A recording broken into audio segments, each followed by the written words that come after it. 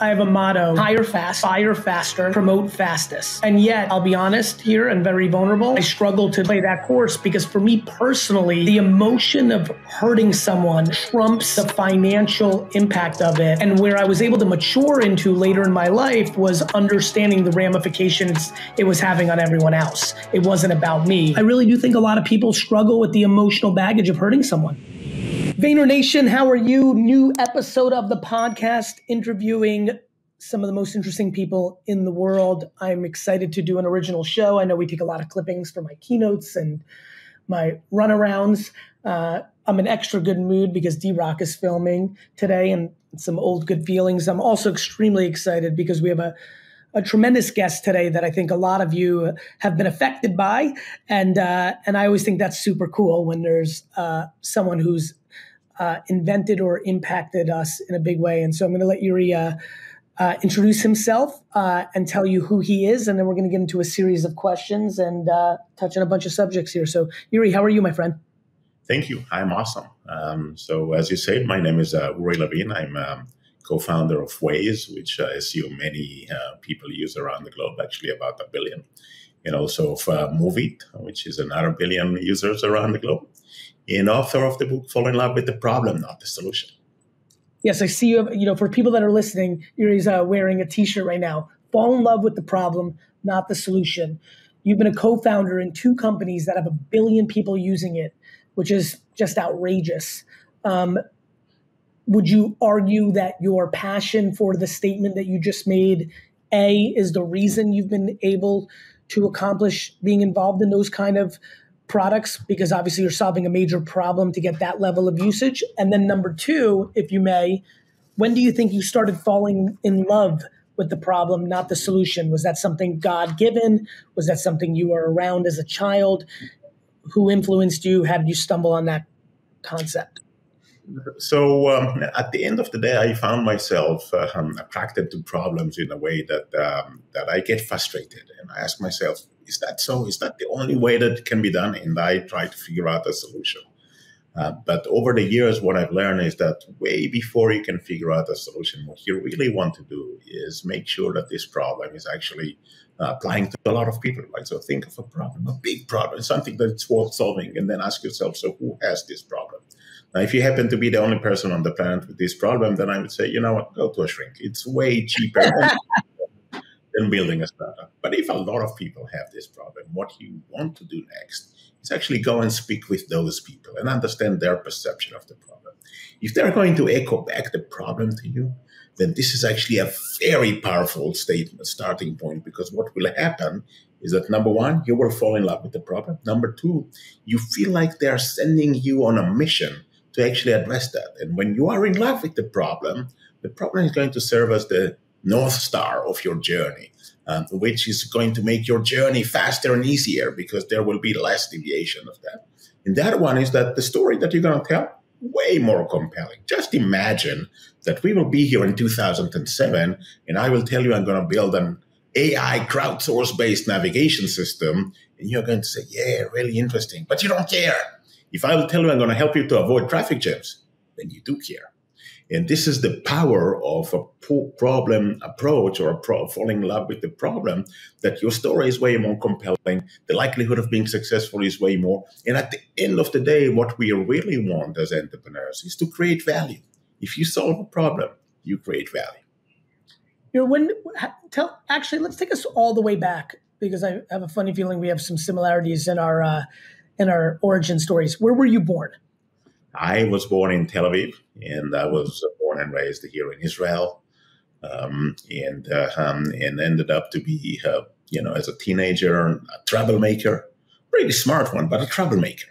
And this turns out to be one of the things that you don't take anything for granted, right? And so people would think of you as a as a take or or someone that is asking annoying and challenging questions. Um, and um, and I grew up in a house that uh, was encouraged me to discover. Right, so so if I would come to my dad with a crazy idea, he would say, uh, "Why don't you give it a try?" Right, he would know that it's not going to work, but he would say, encourage me to try, and and there was no judgment if if it didn't work out because uh, that was the expectation. But the discovery that you fail and get up and nothing happens is actually very powerful because it's going to take you throughout your entire life and basically saying, you know what? You, to, to that point, do you feel that micro failures in your youth became foundational to your professional success? Absolutely. Absolutely. And for a second, I would say we as parents, the most important thing that we would like to teach our kids is to fail. There is an. You, would you would you agree with me that we've gone completely the other way in the last 25 years? Absolutely, it looks like it, right? So, so I, you know, I'm trying to encourage my kids to fail and to expand their boundary and get out of their comfort zone and discover what is it that is going to make them happy right? And because at the end of the day you don't know right? I don't know what's going to make my kids happy. No one knows. They right. need to find out right? And the best way to find out is actually go to different places and try to find out right? And so this turns out to be um, very, very important. And I think that as a society, we miss that. We have huge fear of failure that is being, you know, encouraged. The fear of failure is being encouraged, right? Just imagine what's going to happen if you if you're going to fail a test, right? If you're going to bring F. I mean, I, I could not agree with you more. All my D's and F's in school are foundational to my happiness my lack of anxiety, and my professional success. Period. Uh, yeah, not all of them, but most of them, yeah. Yeah, I mean, I got A's in gym because I liked sports, but other than that, it looks pretty ugly out there. you when did you when did you think you ha- did you you know we grew up in a generation. You how old are you, my friend? I'm 58. You look great. So I'm 47. You and I grew up in a generation where entrepreneurship wasn't almost even a word. It was, you know, it wasn't the culture that we have today.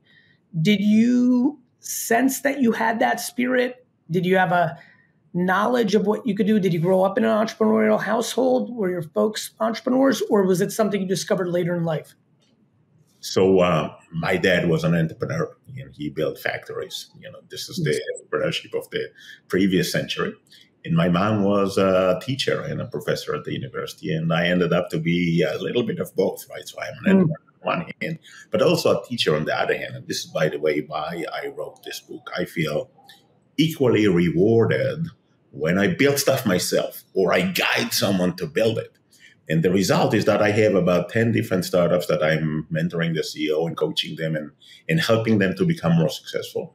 And the book is all about that, right? Is sharing my know-how that will help other people to become more successful. What was the most challenging thing in writing the book?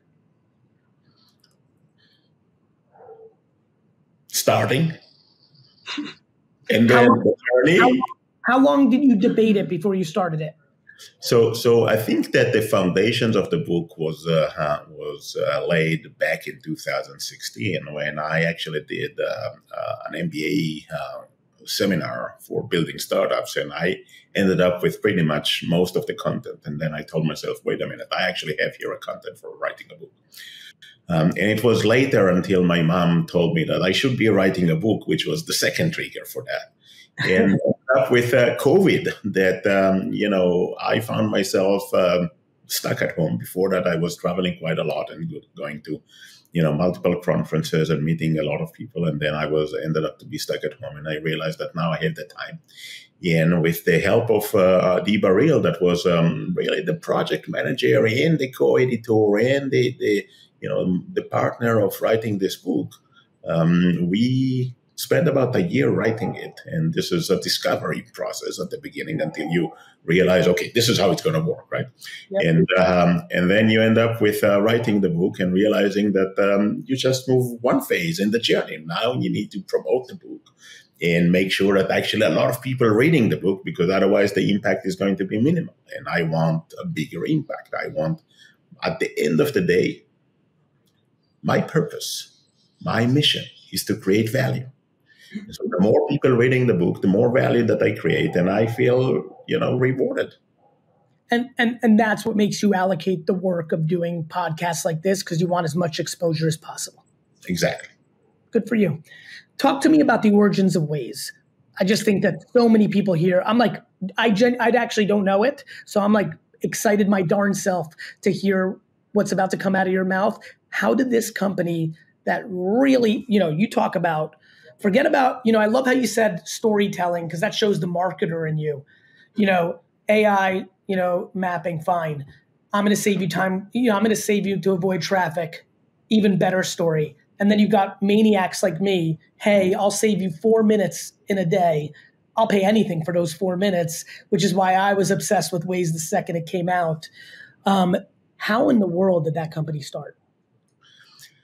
So, so the magic of Waze is that Waze crowdsource everything, right? There is no data coming from anyone else except the drivers. So we crowdsource all the drivers together, and we, you know, based on where you are and how fast you're you're going, we know exactly where traffic jams are. If you report that there is a speed cam, which is equally important as as um, as uh, um, as finding out uh, or avoiding traffic jams.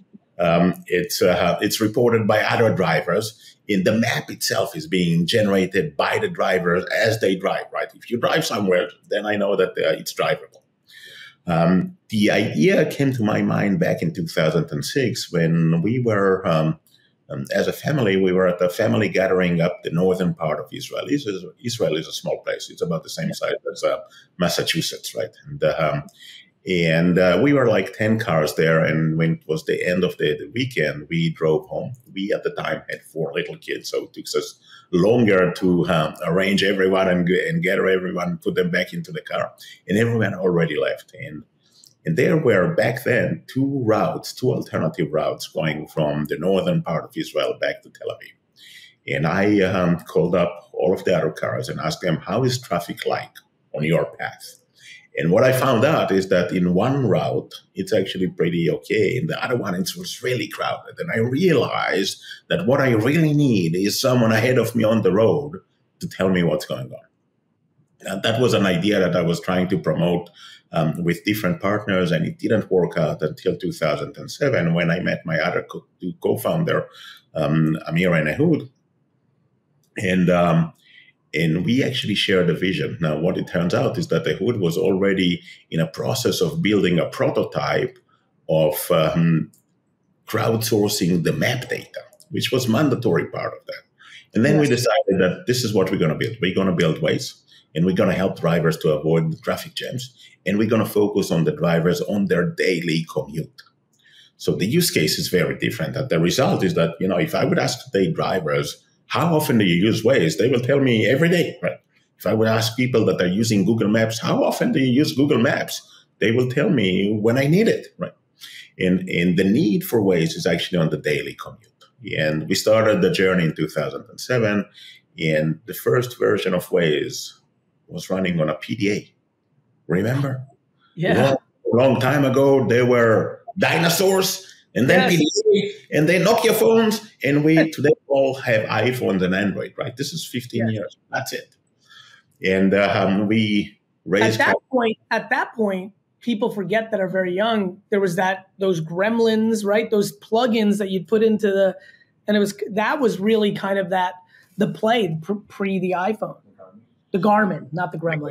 The Garmin. or the TomToms of the world. Yeah. Um, Tom Tom.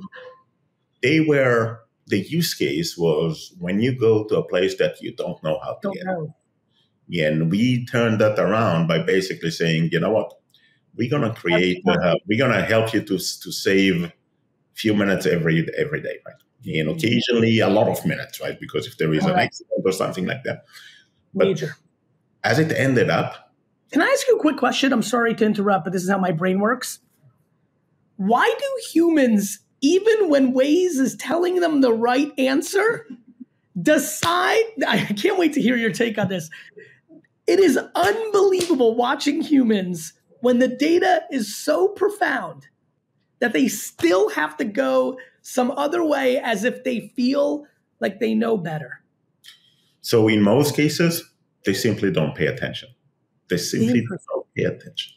They, you know, they, they, this is the the route that they're taking. People like, what about people like D Rock who are just stubborn and think they know better? What about those? there are some people like that. Obviously, there are always people like that, right? Yeah. And uh, and some some actually told me that they are actually competing with Waze every day, and they, they there is a fastest route. Um, in general, I would say it's possible, but less likely.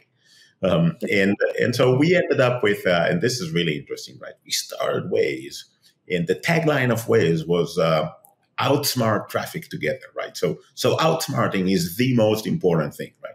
But as it turns out, over the years, people don't necessarily take the fastest route. What they really care about is the the how long it's going to take them to get there. And the, the certainty versus uncertainty is the major value that Waze is actually creating for most people. So you know exactly when you're going to get there, and that's it. And it's not a big deal. Um, and so we started the journey. We raised capital 2008. We built the first version on smartphones. We um, went to the market at the beginning of 2009, and that was in Israel, and it was actually pretty good. And then we, beginning of 2010, we tried to make it available everywhere and it was not good enough. And this is where the realization that building a startup is a journey of failures coming from. You know, it doesn't work. And and you speak with the drivers, they tell you that doesn't work for them. You build the next version, you know that this is it, and it's not. So you're doing it all over again. You speak with the drivers, you understand where the problems are, you build the next version, you know that this is it, and it's not. Iteration after iteration after iteration, more than a year of iterations until it's become good enough. And so today, when I define when I define building a startup as a journey, then I will define three dimensions to this journey. The first one is going to be a roller coaster journey with ups and downs and ups and downs. And look, if you'll tell me all the businesses in the world have ups and downs, I agree. But the frequency of those when you're building a startup and the amplitudes are way higher. I think that I heard the best quote from from Ben Horowitz. Ben Horowitz is one of the founders of Andreessen Horowitz uh, venture capital firm. And before that, he used to be a CEO of a startup. And he was asked whether or not he was sleeping well at night as a CEO of a startup. He said, Oh, yeah, I slept like a baby. I woke up every two hours and cried. And that's the reality of the roller coaster journey. The second part of the journey, is going to be a very long one until you figure out product market fit. And product market fit is when you bring value to your users or to your customers. And if you don't figure out product market fit, you will die. As simple as that. Yep. In fact, you never heard of a company that did not figure out product market fit. They simply died. That's it. Has never, never, never happened. Um, actually, on that point, because I see this here, I want to get to this because we're going to run out of time. When you know, fall in love with the problem, not the solution. These are things that you touch on. We just talked about it, how to figure out product market fit, which is huge. And I think, to be very frank, 90% of people are, are naive about that truth. They would like to see something exist, but they've given they've given no humility or curiosity to the product market fit. So I love that you touch on that. Then you talk about how to determine your business model and and lock down your growth plan.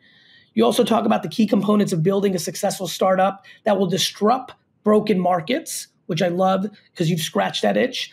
I'm going to let you jump into which one you want here, but I just want to touch on this for the people that are listening if they're considering the book. And I have good news for Yuri. This was a good use of your time. This audience loves reading books, so you're going to be very happy with me when you see the data on Amazon after this podcast airs. Um, the this one I love the importance of firing and hiring the right people. Yes, in that order. I have another, uh, I'm really excited to see that. Deciding when to sell and how entrepreneurs can prepare for the eventual exit of the company. That's super interesting because you guys only ran Waze for how long before you sold to Google? Um, about six years. Uh, officially, Not, five years. Really short yeah, period. Very short period of time. Uh, and then the importance of paying it forward and guiding others, uh, entrepreneurs in need, which I love so much. And I love that you end with that. W- of the things that I just brought up, which was really a primer for the audience in case I didn't get to it on things you can expect from the book. I still believe books are one of the best ROIs in the world. When I think about the people that write books and I think about the effort they put into it, and I think about all that information costing about 20 bucks, I still think it's one of the great ROIs that exist. Of the things that I just brought up that you touch on in this book, which one would you like to double click into and speak on a little bit? So let's uh, double click into firing and hiring. This is really interesting. And we will double click on more. And then, you know, if you'll give me the rest of the evening here in Tel Aviv, then we will spend the rest of the evening here. We got seven minutes. So, like, you know, that's how it's going to really play out. and um, so, so one of the challenging things is that um, I spoke with many entrepreneurs that their startup failed and asked them why, what happened? And about half say the team was not right. And I kept on asking, okay, what do you mean the team was not right? And what I heard the most is, you know, we had this guy not good enough and this guy. So not good enough was the main reason. Another reason that I heard often is that we had uh, communication issues, right? Something that I actually called uh, ego management issues. And then I asked them the most interesting question When did you know that the team is not right? All of them knew within the first month. Within the first month. Wow. And said, wait a minute, if you knew within the first month that the team is not right and you didn't do anything, the problem was not that the team was not right. The problem was that the CEO did not make hard decisions. Making easy decisions is easy. Making hard decisions is hard. This is why most people don't like to make them. In a small organization like a startup, it will go all the way to the top to the CEO to make those. Now, if the CEO doesn't make those decisions, this is where it's becoming complicated, right? Yes. And the reason is a simple, right? Startup is a small organization. Just imagine that you're in a small organization 10, 20, 30, 40 people, and there is someone that shouldn't be there. Everyone knows. Yes. Everyone knows, and the CEO doesn't do anything. That's where the, the, the nature of it's a crusher. exactly. And then what happened? The top performing people would leave. Yep. They become and, demotivated because they don't want to be in an organization that is unable to make hard decisions and they have a choice. Now, if you have people that shouldn't be there and the top performing people are leaving, that's the beginning of the end for you. There's right. no way that you can recover. One of the major conclusions of the, of the chapter firing and hiring is look, if you hire someone new, if you are a hiring manager and you hire someone new, mark your calendar for 30 days down the road and ask yourself one question Knowing what I know today, would I hire this person? Now, if the answer is no, then fire them immediately. You're doing yourself a favor, the rest of the team a favor, the organization a favor, and that particular person, you're doing them a favor because they're not going to be successful here. You already set that trajectory because you don't think that you should have hired them. And the reality is that if you don't act, everyone else knows and they see that you don't act. And this is really, really important. In general, I can say that for everything in your life, right? Knowing what you know today, if you're gonna do, if you would do something different, then do something different today.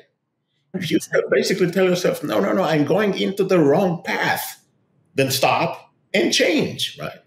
Because today is the first day. Why, why, why, do you, why do you think most people struggle with making the tough call?